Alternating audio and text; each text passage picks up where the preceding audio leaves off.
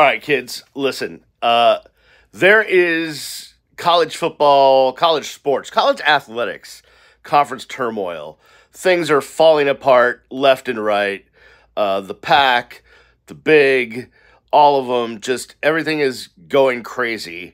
And F- FSU came out and said, hey, we, we might have to leave the ACC. Um, Miami needs to be a leader on this, right? Miami is a brand that is national. Miami could theoretically uh, probably get their own media rights deal in one of the streaming services. Miami needs to be a leader on this, and I have not heard enough from Dan Radakovich on this.